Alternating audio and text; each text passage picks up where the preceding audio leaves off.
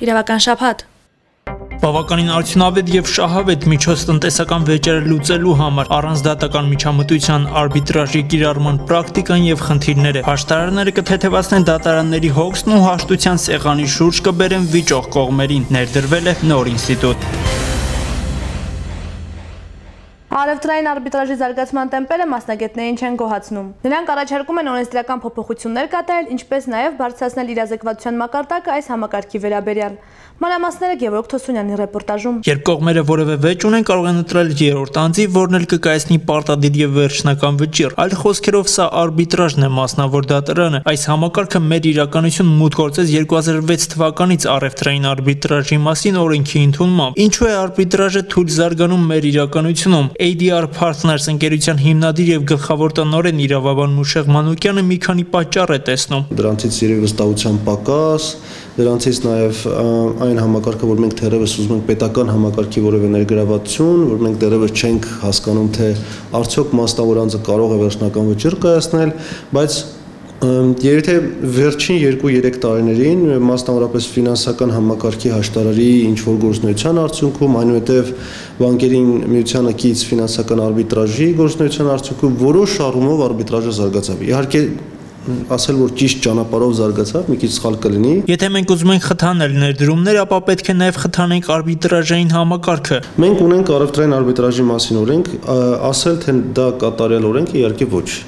Բայց ասել որ դա այն ունի այնպիսի թերություններ, որ թույլ չի տալիս արբիտրաժը զարգանալ, իհարկե ոչ։ Այս պայմաններում արբիտրաժի մասին օրենքը, մեր առևտրային արբիտրաժի մասին օրենքը թույլ է տալիս այսպես լրիվ կերպով զարգացնել արբիտրաժը։ Ներկայումս արտարդատության նախարարության հետ աշխատանքներ են տարվում ապահովելու արբիտրաժի արդյունավետ գործունեության իրավական դաշտը։ Արամ Օրբելյանի խոսքերով ամենամեծ խնդիրը վերջին տարիներին ցակած այն էր, որ պայմանագրերի անվավերության հարցեր կարող էր քննել միայն դատարանը։ Ինչը բերում է լուրջ խնդիրների, քանի որ արբիտրաժը պրակտիկորեն սահմանափակվում է վճիռ կայացնելուց, քանի որ ցանկացած պահանջ, որը կը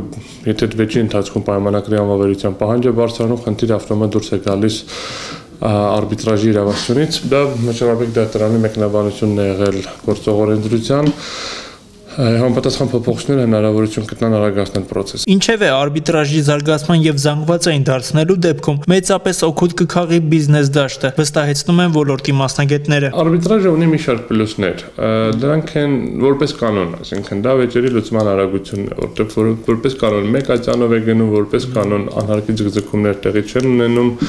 Երկրորդ խնդիրը ինքը մասնագիտացումն է, քանի որ կողմերը հնարավորություն ունեն ընտրեն արբիտրին, կամ եթե իրանք արբիտր չեն ընտրում արբիտրաժյան կենտրոնի են դիմում կամ ինչ որ կանոններով նշանակվում է արբիտր, որպես կանոն հաշվի առնում համապատասխան մասնագիտացումը նշանակելու մեջ, հնարավորություն է տալիս շատ բարդ սպეციფიկ հարցերը լուծել մասնագետի միջոցով։ Շուտով վեճ ունեցող քաղաքացիները հնարավորություն կունենան դատանի փոխարեն դիմել հաշտարարին, նստել մեկ սեղանի շուրջ եւ փորձել հաշտության եզրեր գտնել։ Հաշտարի ինստիտուտի վերաբերյալ օրինագիծն արդեն ստորագրվել է նախագահի կողմից եւ ամիսներ անց ուժի մեջ կմտնի։ Ասղիկ Կարապետյանը ողջել է թե ինչ դրական կողմեր ունի այն եւ ինչպես է գործելու։ Մանրամասներ ռեպորտաժում։ Կերծանաբեռնված դատարանների բեռնաթափում եւ հնարավորություն քաղաքացիական վեճերն արագ եւ առավել արդյունավետ լուծելու համար։ Ահա այս նպատակներին է ուղղված Հաշտարարի ինստիտուտի ներդնումը։ Հայաստանի Հանրապետության նախագահն արդեն ստորագրել է քաղաքացիական դատավարության օրենսգրքում փոփոխություններ եւ լրացումներ անելու մասին համապատասխան օրինագիծը։ Այն ուժի մեջ կմտնի հրապարակվելուց 3 ամիս հետո։ Այդ 3 ամսվա ընթացքում մենք իրականացնել ենք հաշտարարների որակավորում, հայտարարել ենք արդեն որակավորման վերաբերյալ վերաբերյալ համապատասխան կարգեր այդ ընթացքում բնականաբար ենթաօրենսդրական ակտերը կներկայացվեն կառավարության քննարկմանը օրենքից բխող եւ իրականացվի որակավորումը այնպես որ 3 ամսվա ընթացքում մենք պետք է աշխատանքներն ավարտենք որ օրենքի ուժի մեջ մտնելու պահից արդեն լինեն ռեեստրում հստակ հաշտարարներ Հաշտարարի ինստիտուտը արտադատական ճանապարհով վեճերի լուծման երկու ուղղությամբ է աշխատելու առաջին դեպքում անձինք հաշտարարին կկարողանան դիմել մինչև դատարան դիմելը իսկ երկրորդ դեպքում հաշտարը կարող է նշանակել նշանակվել, երբ վեճն արդեն դատարանում է։ Առաջի դեպքում դատարանը նաև հանդես է գալի օկնող դատարան եւ այստեղ կողմերը հնարավորություն ունեն իրենց միջև հաշտության արդյունքում կնքված պայմանագիրը ներկայացնեն դատանի որպես հաշտության համաձայնություն հաստատել, հաստատելու համար բնականաբար դատարանը այստեղ կիրառում է հաշտության համաձայնության հաստատելու ընդհանուր կանոնները, այն է օրենքի պահանջներին համապատասխանող այլ անձանց իրավունքներին չխախտելու դեպքում դատարանը կարող է հաստատել եւ կողմերը այստեղ շատ մեծ հնարավորություն են ստանում, որ որպեսի հետագայում արդեն հաշտության համաձայնության պայմանները չկատարվելու դեպքում դիմեն հարկադիր կատարման։ Սա ըստ էության միջազգայինորեն տարածված օգնող դատարան ինստիտուտն է, որը մենք ներդրեցինք եւ սա կարծում եմ իրական խթան կլինի, որպեսի հաշտարների միջոցով վեճերը շատ ավելի արագ լուծվեն եւ շատ քիչ վեճեր գնան դատարան։ Ազգային ժողովում այս օրինագծի քննարկման ժամանակ բավականին կոշտ արտահայտություններ հնչեցին եւ կասկածի տակ դրվեց այս ինստիտուտի արդյունավետությունը։ Սակայն падգամավոր պետաիրավական հարցերի հանձնաժողովի անդամ Էդմոն Մարուկյանը կարծում է, որ դեռևս կարելի է խոսել այս ինստիտուտի դրական կողմերի մասին։ Ես բացական կողմ չեմ կարող նշել այս պահին, այսինքն մինչև իրավակիրար պրակտիկայում խնդիրներ չառաջանան չեմ կարող ասել, որ բացական կողմեր ունի Հաշտար ինստիտուտը ընդհակառակը այն ունի դրական կողմեր եւ դրական կողմերը ավելի շատ են, քան որևէ ինչ որ բացասական մտահոգություն, որը որ արտահայտվել է քննարկումների ժամանակ։ Օրինակ, դա հնարավորություն է տալու, որ ավելի արագ վեճերը լուծվեն քաղաքացիների միջև, ինչու, որովհետև մենք դատարաններում երկար ժամանակ ենք անցկացնում, ռեսուրսներ ենք ծախսում եւ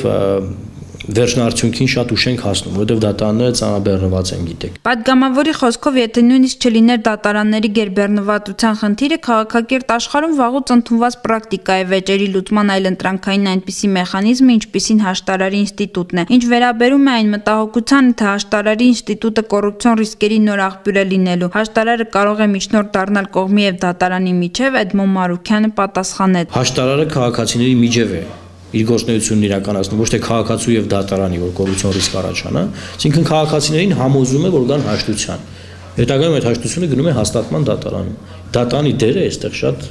փոքր է։ Ահա այն ինչ առանձնացրել է իրավական շփաթը ձեզ համար։ Իրացրեք իրազեկ լինելու ձեր իրավունքը կհանդիպենք մյուս շփաթ։